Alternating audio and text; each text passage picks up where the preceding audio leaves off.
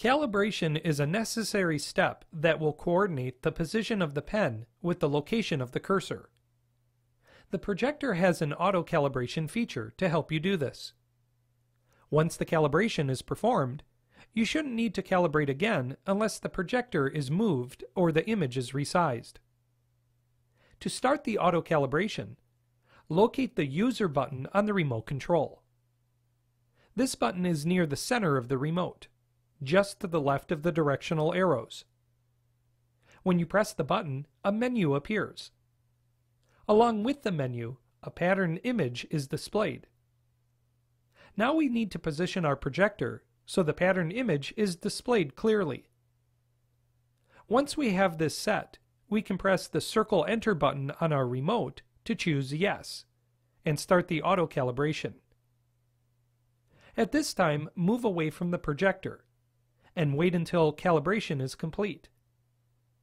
Once completed, the patterned image disappears, and you can start using the pens.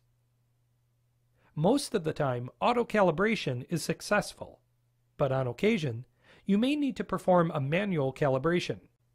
If you do, you will see a message telling you that the calibration has failed, and a manual calibration is necessary. On the remote, we can press the menu button and then press the down arrow button to highlight Extended in the menu. And then press the circle enter button in the middle of the remote to choose it.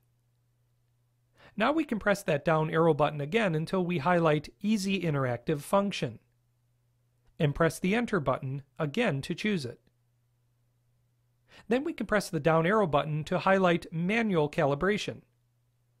And press enter to select it we can reposition our projector if we need to, so the menu is displayed clearly. With a manual calibration, a series of green dots will be displayed. We'll need to touch each one of the dots with our pen.